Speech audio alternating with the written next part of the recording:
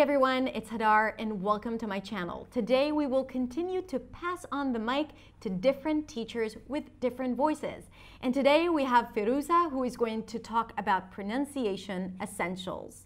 Let's welcome her. Hi everyone, my name is Firuzeh and I'm so happy to be here.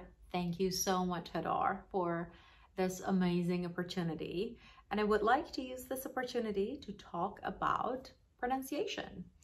I want to talk about the six different components of pronunciation, six different aspects of pronunciation that all together make up our pattern of pronunciation and hence our accent. I want to tell you that if we really gain the knowledge of and master the practice of we acquire the theory of and the practice of these six different components, we can have a really clear and understandable pronunciation and hence a good accent. Because after all, what's a good accent? A good accent that empowers you to be as expressive and communicative as you can be. Now, the first one, the first component is the topic about pronunciation that is really commonly overlooked and there is so much confused conversation about around pronunciation that is the result of this and it is the distinction between letters and sounds in English. These two things are completely different things and when we don't make that distinction, it becomes really confusing what we are talking about. A letter in English is a symbol that we use to represent and show sometimes up to eight different sounds. Eight different sounds. You know that we have two kinds of letters and sounds. We have consonants and vowels. We have consonant letters and consonant sounds. For example, we have this letter in English, which is letter T, it can represent up to eight different sounds in the American dialect. I have a video about that. I would love for you guys to check that out. I'm just gonna go over the different sounds very quickly. Sometimes it sounds like what we call a flap T. When we say water, it's not like D that is produced by letter D. It's softer than that. Your tongue is not supposed to touch your upper palate firmly. It just touches it lightly. So we say water, bottle, it is. Sometimes it is what we call a glottal stop. We say mountain, mountain, cotton. Sometimes in the American dialect, we completely gloss over it. We don't pronounce it. We say internet. In other dialects, you might hear internet. Sometimes it sounds like ch when we say situation. Sometimes it sounds like sh when we say conversation.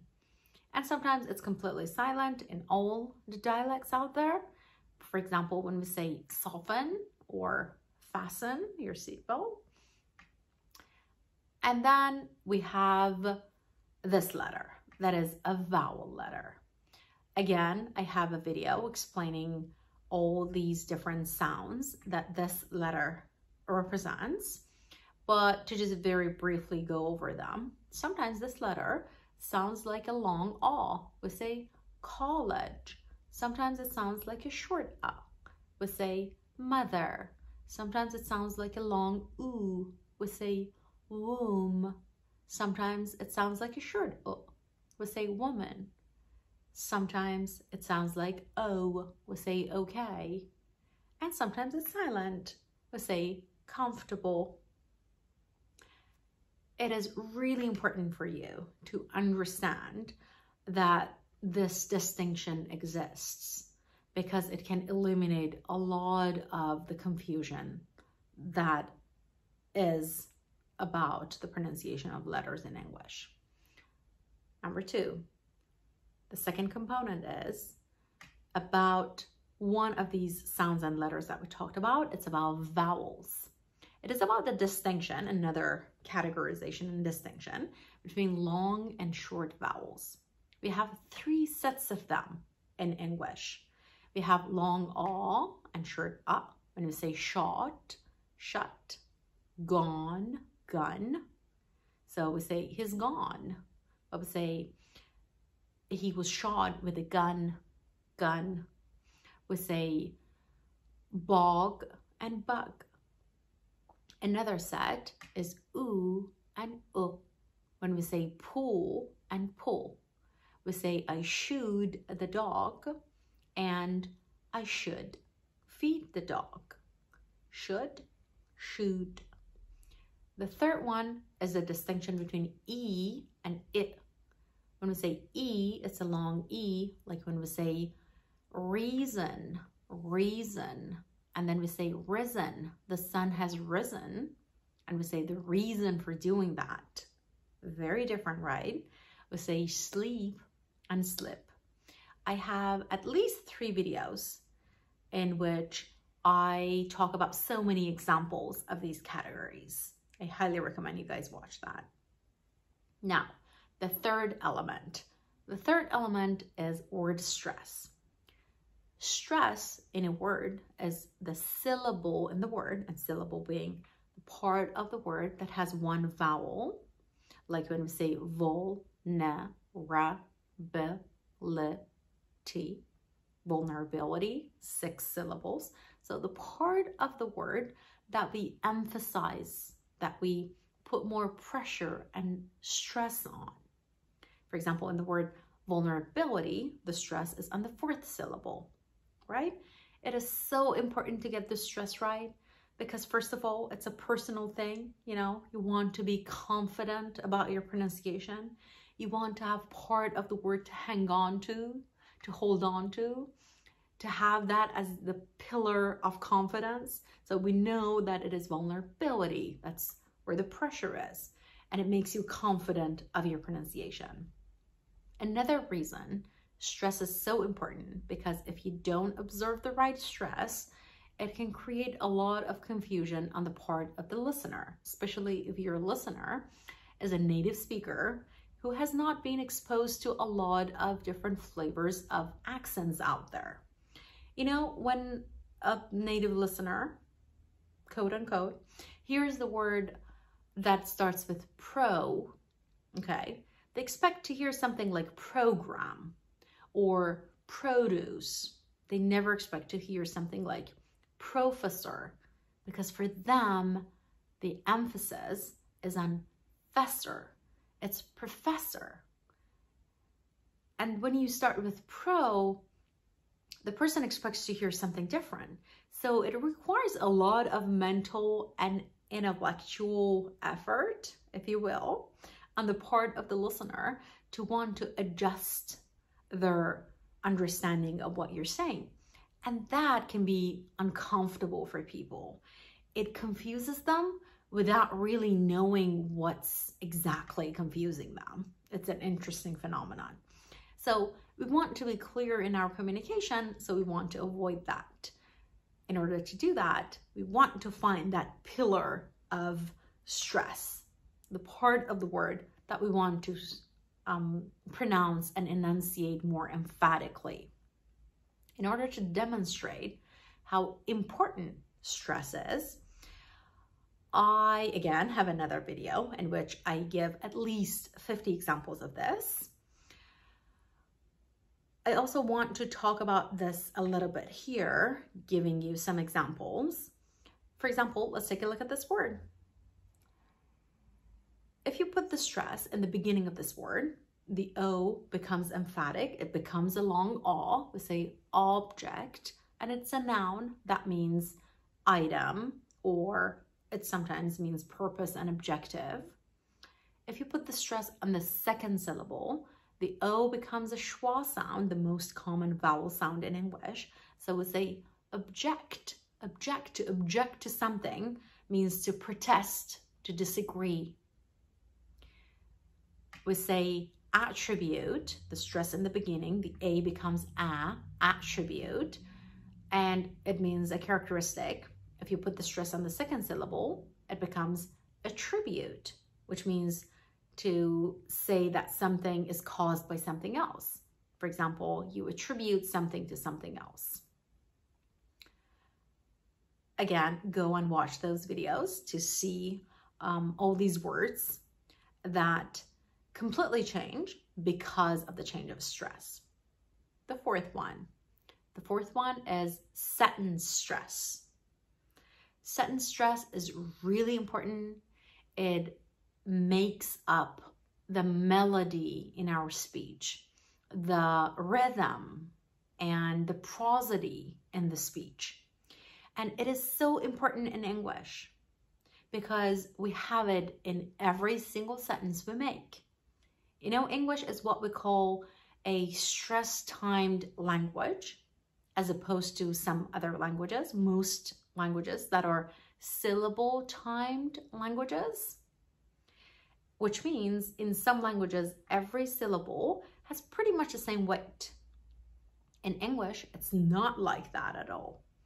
Some syllables are totally disregarded, overlooked. They're never stressed. They're almost never stressed sometimes. And sometimes, depending on the meaning, they get the stress or they lose their stress. If you will, imagine a natural forest in which trees are of different lengths and sizes. That's English, with words having different stresses. So you go up and then you go down and the pitch increases and the volume goes up and then it goes down based on the meaning. In some languages, it's like an orchard, an apple orchard. All the trees have the same height or length. They're um, tall or they're all short every syllable has pretty much the same weight and pitch and volume and ring to it. Now, sometimes there are words that are almost always unstressed. We call them function words, words like articles, like when we say the. Almost always, but not always, because we have some exceptions if you want to emphasize. So, for example, we say, um, I saw Mariah Carey, and then you say the Mariah Carey, the means that specific one. So you emphasize that. 99.9% of the time, we don't emphasize it. And then we have content words. When it comes to content words, sometimes in one sentence, one word can get more emphasis and stress because of its relevant importance in that specific sentence. So, for example, if I say, I've learned so much from this YouTube channel about verbal communication. In that sentence, I emphasize so much. I've learned so much from this YouTube channel about verbal communication.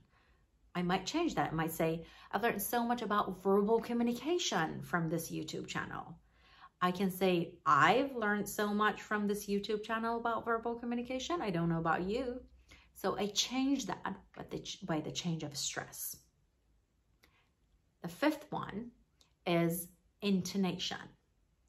Intonation is when you end a sentence a certain way, the pitch and the tone changes at the end of the sentence. Primarily, we use intonation to communicate two things. Sometimes a sentence changes from being a statement to a question by the change of intonation. So for example, if I say, she's happy, she's happy, I'm asking a question. If I say, she's happy, she's happy, it's a statement. So a lot of times questions have rising intonations and statements have falling. But then when it comes to questions, if I say, where are you going? Where are you going? Is it where you're going? Is that where you're going? Again, in questions, we have falling and rising intonations. Sometimes you communicate your level of certainty through your intonation. If I have rising intonation, I'm less certain, I'm less positive about what I'm doing a lot of times. So for example, if I say, I'm really trying to work on my verbal communication. It feels like I'm not really self-assured about that. But if I say, I'm really trying to work on my verbal communication, my verbal communication, so the way I end the sentence. Now, the last point is about blending of the sounds. It is such an important point in English pronunciation. We blend the sounds, we mix the sounds, the sounds are fused together all the time. Consonants with consonants, vowels with vowels, and vowels with consonants. So for example, take a look at this. What is this word? This is law school. It could also be law school, right? Because the way the words, uh, the sounds are blended, it could be two different things. The another very important rule is that when a word ends in a consonant and the next one starts with a vowel, we always blend the sounds. For example, if your name starts with a vowel, we say, my name is Zali, is za, is Ali. If we have two vowels, one word ends with a vowel, the other one starts with a vowel, we kind of combine them. We say law-abiding, law-abiding citizens. We don't say law-abiding, law-abiding, law, law-abiding citizens. And sometimes if the first word ends in the same consonant that the next word starts with, we just pronounce it as one consonant. We'll say big girl, big girl. Okay, so that was all I had for today about pronunciation. I really hope that I can keep in touch with you guys and you guys will continue on this journey that you've started. And Hadar, thank you again.